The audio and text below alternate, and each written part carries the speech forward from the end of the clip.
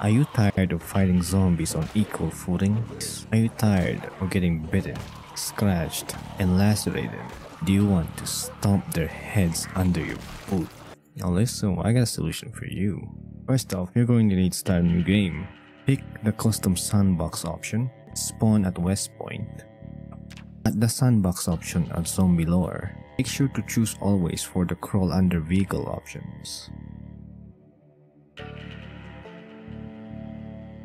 Now you might think this would make the game harder, but we're going to use it for our advantage. Let me show you how. For our base location, we're going to pick the gas station in the middle of West Point.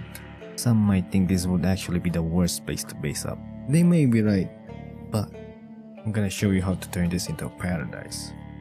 First, you're going to need vehicles, at least two in fact. To make it easier on you, I would recommend starting out as a burglar, since that occupation lets you hotwire vehicles from the very beginning. For the other, we're going to need to get 4 cubicles, just right down the street.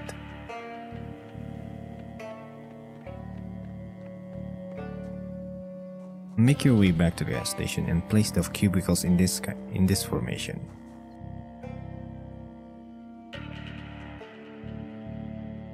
Open up the windows if you want. I would rather not have them get smashed by zombies myself. Next you're going to need to get the first vehicle. Drive it to the gas station and park it right next to the window.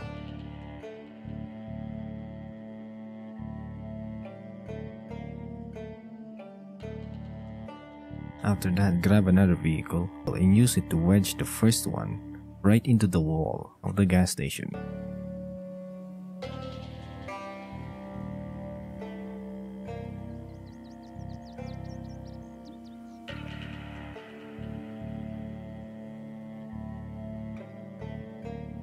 Now park the other vehicle right into the vehicles.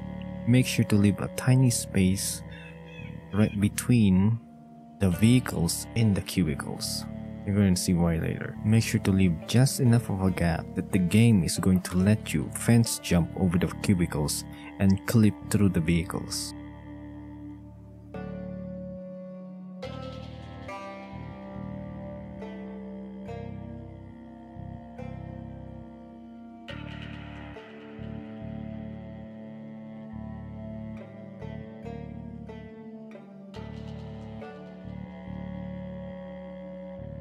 As you can see, you can exit in and out. Now the only caveat is, you can't do this when you're overcumbered or extremely tired. Make sure to have a light load when you're going in and out of the building.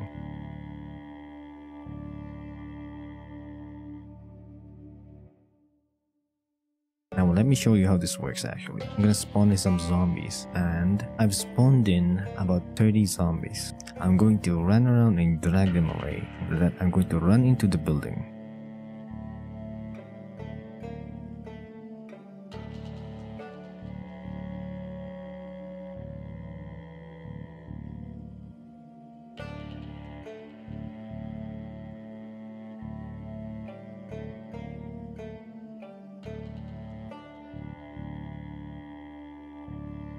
Now watch as they try to crawl under the vehicle to get to you.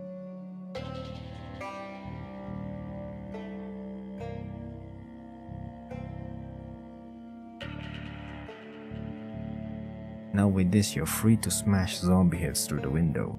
This is why you chose to make all zombies crawl under vehicles to try to get to you. With the zombies crawling, every swing you take at them is always going to result in a headshot, which is almost always an insta-kill.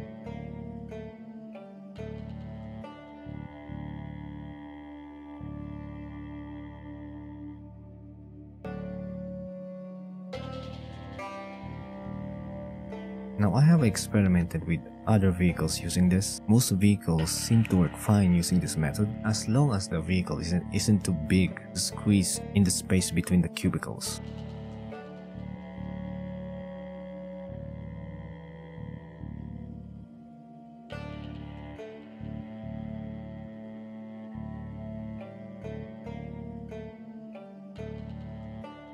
Well, that's pretty much it. Thanks for watching. Make sure to like and subscribe. And we just hit 100 subscribers. And thank you. And thank you for all your support. Have a good one.